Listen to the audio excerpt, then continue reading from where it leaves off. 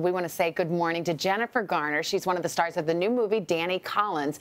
It centers on an aging rock star played by none other than Al Pacino, and he's on a quest to find himself and the family he abandoned on his rise to stardom. And Jennifer, who plays his daughter-in-law, doesn't exactly give him a warm welcome at first. You did this to yourself. Shame on you. That was good. Thanks. I've been practicing since you gave me the bagel. no, it has a certain feel to it. Oh, he married well. he did. I'm great. Yeah. You see what you missed out on? Perfect daughter-in-law.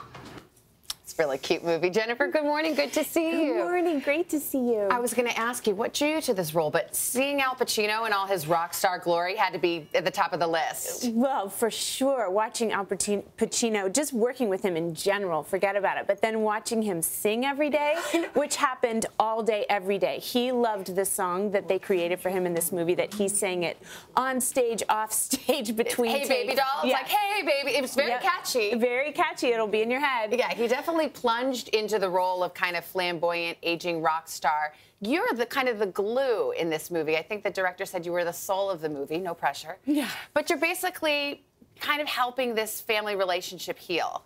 Explain. Well, sometimes families coming back together, it can be as painful a process as families splitting up. Mm.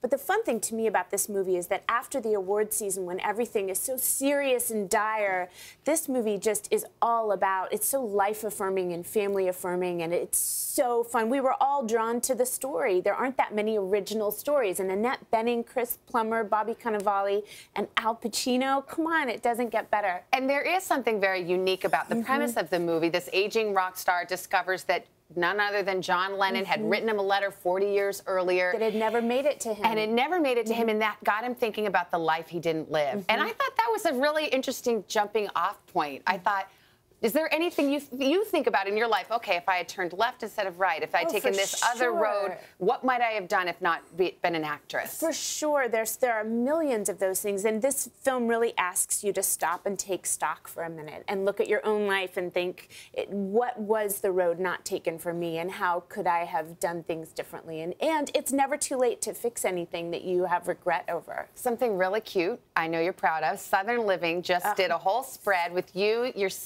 sisters, and your mom. And when I was looking at it, I thought, this is really cool, and I bet Jennifer loves this because all of the spotlight gets to be on those ladies you love. It makes me cry to see their faces, so I won't look. But um, yes, it was. There's just nothing like you know sharing the spotlight or anything else with your sisters and your mom. Oh, I, I can so relate to that because there's something about when you're in these jobs where you get to do those fun things and you get to share and say, hey, mom, want to get your hair and makeup done? Is that how you felt about it? Yes, it's just it's always fun for me to get my sisters dolled up Yeah. and my mom. Ah. You're killing me right now, Jennifer, because your It's love is those just. babies. You showed those babies and Leah Still, and I just watched it. I can't even take it. Oh, you are so darling. Today's show is too tough for me. You got a heart of gold. That's your problem. what can we talk about? We have to talk about something really boring Okay, let's talk so about we something can. else. I know. How about let's- that dog wrangler? How about Wrangler? Come on. How about tax day? It's coming up, April 15th. How about my birthday, April 17th? It is happy birthday. And guess what? Barefoot Contessa Ina Garten, I am cooking with her on my Come birthday. on. Yes. What are you going to make? Do you know? I don't know. I had a lot of ideas. I think I kind of overwhelmed them. I'm a little bit overexcited. So are you cooking for others? Are you cooking We're for the cooking for her show. Okay. But I'm considering it for my birthday. All right. Yeah. Well, it's very exciting. So Am I allowed to ask how old you be? I think we're the I'll same age. 43. Oh, oh, okay. Yeah. I am 43. Yeah. We tell you, it's a real boring age.